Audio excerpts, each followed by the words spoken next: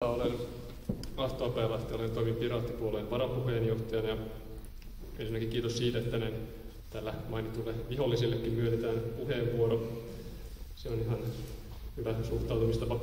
En puutu näin, tällä kertaa näihin sensuurilakisuunnitelmiin tai siinä on sellainen nämä teleyritykset, jotka pystyvät ihan hyvin puolustamaan omia etuja ja niin poispäin. Ajattelin ottaa nyt puolustaa tällaisen vähemmistön etua, ja se vähemmistö on tekijänoikeusrikkomuksista Suomessa rangaistukseen tuomitut ihmiset.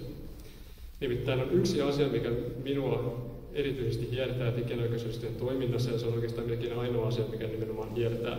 Se asia ei ole se, että ne järjestöt haluaa lisää rahaa tekijöille.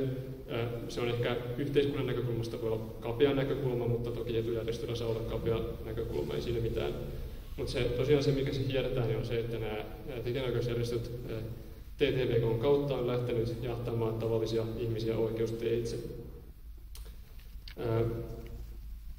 Ja tosiaankin niin kuin vetoaisin sen puolesta, että se lopetettaisiin.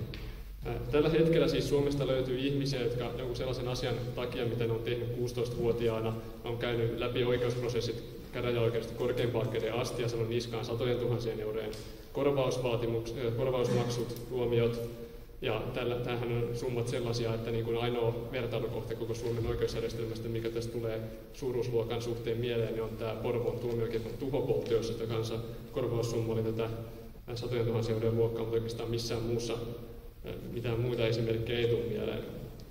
Ja tota, se, että kyllä niin kuin kysyisin ja kehottaisin miettimään, että mikä se hyöty on siitä, että niin kuin lähdetään oikeusteitse tavallisten ihmisten kimppuun, jotka on loppujen lopuksi aika harmittomia niin kuin tänne yhteiskunnan jäseniä, jäseniä sekä niin kuin yksittäiset ihmiset, jotka latailee, joita on lähestytty tällaisilla varoituskirjeillä, joissa on sitten selvitetty näitä tuhansien eurojen maksuja sovittu. Ja sitten myöskin näiden vertaisverkkopalvelujen ylläpitäjät, jotka tosiaan saattaa olla hyvinkin alaikäisiä nuoria, niin, niin että mikä se, mikä se niin hyöty tekijöiden tai luovan alan kannalta on siinä, että näitä tavallisia harmittomia ihmisiä raahataan sinne oikeuteen.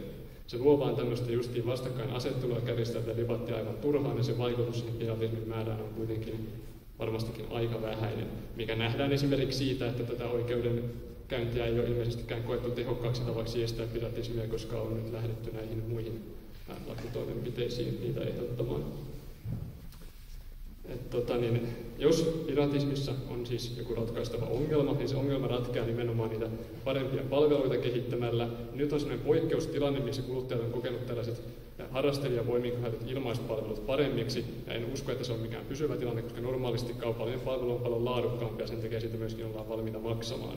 Ja nyt esimerkiksi Spotifysta on sellaista tutkimustietoa, että se olisi jo vähentänyt tiedostojen laitonta jakamista sitten nuorison keskuudessa ja varmaankin ne paremmat palvelut, jos niitä aletaan ihan rauhassa kehittämään, niin kyllä hoitaa sen ongelman, jos se semmoisen ongelma on.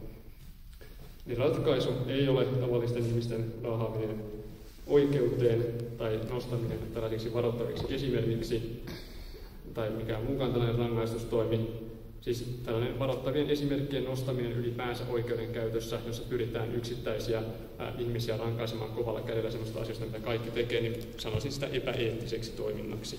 Ja toivon, että se loppuu. Eli tämmöinen, tämä näkökulma on sellainen, mikä täällä tänään keskustelussa on esille, ja se on kuitenkin se asia, mikä eniten tässä tekijänoikeusdebatissa näin niin kuin kentän näkökulmasta hiertää. Sitten jos tämä tavallisten kuluttajien jahtaaminen oikeus lopetetaan, niin päästään varmasti sen jälkeen paljon rakentavampaan debattiin ja myöskin vähemmän kärjistyneeseen suhtautumiseen käyttäjien taholta sinne tekijänoikeusjärjestöihin ja myöskin luovan työntekijöiden kohti, ja tekijät myöskin kärsivät siitä, siitä, mitä heidän nimissään tehdään epäeettisesti. Ei muuta.